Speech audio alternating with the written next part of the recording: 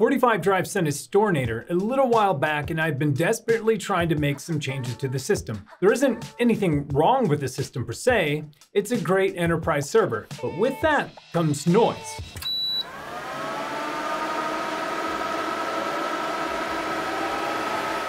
The dual 1200 watt power supplies, along with the five heavy duty 120 millimeter fans and a high velocity cooler are just a little bit louder than expected. Yes, I have a server room in my house, but it's not like I have concrete walls or anything. I reached out to 45 Drives and they sent me new fans and a new power supply. This is when I started thinking about other upgrades I could make while I have it open. I mean, Jeff from Craft Computing swapped out the CPU and added a terabyte of RAM. Jeff Geerling ripped the whole thing apart and connected a petabyte of storage to a Raspberry Pi. And Wendell from Level 1 Techs created an offsite backup to another Storinator server to back up the ZFS. How could I ever come close to anything like this? And that's when the wheels started turning. And that's when I decided to put RGB fans in my server.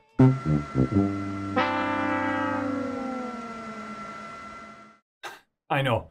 Impressive, right? But wait, it's not what you think. It's not just simple RGB fans. I was able to find and hack a Zigbee controller that works with PC fans without relying on the motherboard's proprietary software, which is a good thing because this server motherboard doesn't have an ARGB controller anyways. It doesn't have the ports. I can then control these using any Zigbee hub and even automate them too. I also decided to swap out the CPU cooler that shipped with the server for a ginormous but quiet cooler. Over the last few days, this upgrade has taken many turns, from removing everything from the case, to finding a Zigbee controller that I could use, to finding compatible RGB fans, to figuring out how to power this controller inside of the server without a power adapter, to using a multimeter to find 12 volt power, to finding a quiet cooler that will work with an Intel Xeon CPU in a 4U server case. I had my work cut out for me. But first, a thanks to our sponsor, Micro Center. If you're thinking of building a new PC, you should look no further than Micro Center. If you've never been to a Micro Center before, you're missing out on seeing a huge selection of technology in person. They've got everything for custom PC builders from SSDs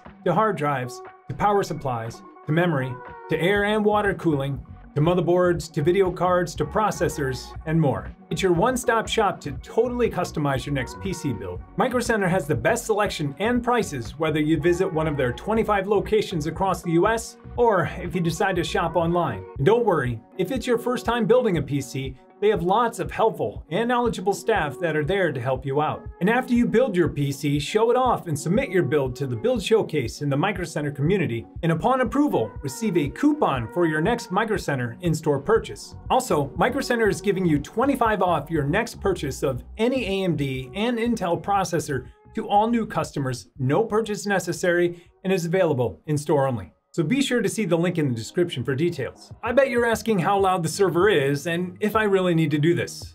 Again, this isn't something you would care about if your server was in a data center, but this is in my home. I did a little testing with my watch and it measured around 68 decibels. I'm not really sure if that's loud, but it sounded like this.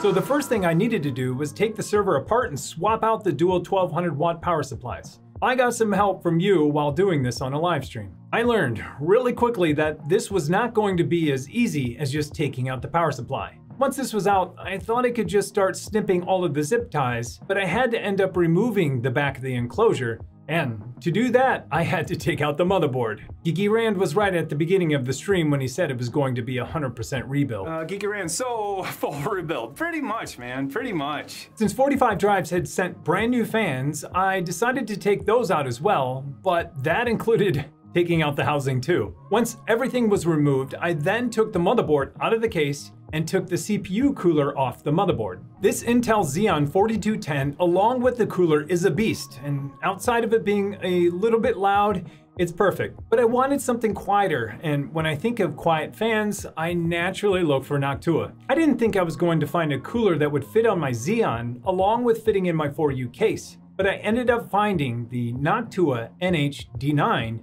which is made especially for my Intel CPU using the LGA 3647 socket. Fan installation went flawlessly and I installed them using a pole configuration since these fans will be right behind the other fans and this will push the air into the fins. Next, I was trying to figure out how I could use RGB fans without pins on my motherboard and without software running on the server. I knew I wanted something more open than that, so I decided to start looking for Zigbee controllers that could run some fans. That's when I discovered this controller.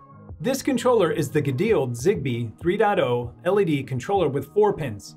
It's used to control RGB strips, but can control any 4-pin RGB lights. These were perfect to control my RGB fans, except for the power connector. But We'll figure that out in a second. For fans, I went with these Cooler Master Sickle Flow 120mm RGB fans. The reason I went with these is because I needed RGB and not ARGB like many of the other fans that are out there. These are PWM and move plenty of air, are quiet, and are super duper affordable. After installing three RGB fans in the front, I considered not using RGB fans for the second row, but then I thought, um, this is gonna be on YouTube. I need more RGB so I installed three more RGB fans behind it. Now was the challenging part, wiring up the controller to the PSU or the motherboard. Remember, I didn't want to use external power. I wanted to pull the power from within the case if possible. That's when I realized that I could probably pull 12 volts from the Molex and feed it into this controller. So I modified a Molex connector to connect to a 2.5 millimeter barrel plug think that's what you call them. I had a ton of these left over from a Raspberry Pi project. Once I wired it up and connected it, the fans would turn, but not light up. This meant that the controller was not actually getting enough power. I tossed this question out on Discord and iLude told me to use a multimeter and check it. Thanks iLude! sure enough, when I checked the voltage, I was only getting 5 volts. I wasn't sure how this was possible since I studied this diagram that I found on the internet. And you see, it says right there, oh, the red cable is 5 volts and the yellow cable is 12 volts.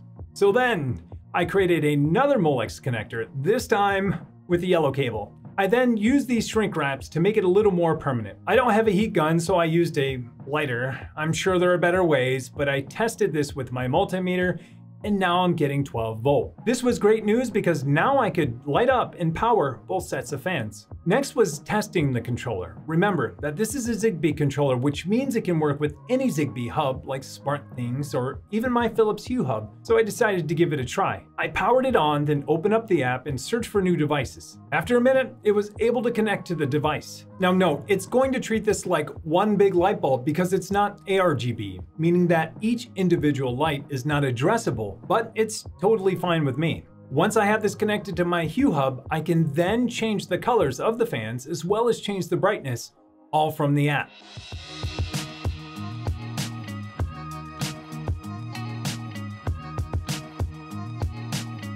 This green light would look really cool for the Craftinator. Craft computing. but anyways, I know what you're thinking. Why put RGB fans in a server to begin with? Well, why not? It's not like it doesn't have a beautiful faceplate already. It just needs a little more flair. And since it's now integrated with my Hue Hub, I can automate it with code, HomeKit, or even Home Assistant. This is going to be perfect because I already have home automation in my server room that turns on the lights when I enter via motion. And then it turns all the lights off when there's no motion for five minutes, which means that my server fans won't stay on 24 7. And how loud are these server fans now? Well, remember when we tested at the beginning with the old fans? It was reading about 68 decibels. Well, here it is now.